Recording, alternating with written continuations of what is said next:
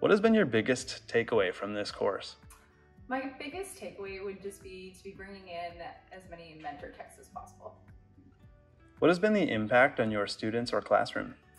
Mentor texts have really um, given them a lot more confidence when they started and it has also helped with uh, their genre knowledge and just vocabulary usage. I've seen that my students are more willing to write and it's just been a lot easier for them knowing that they have an example that they can look to if they ever get stuck.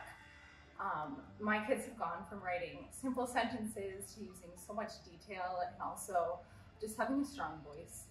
It's an easy thing to just incorporate into class. It doesn't take a lot of extra work, so it's been really nice that way.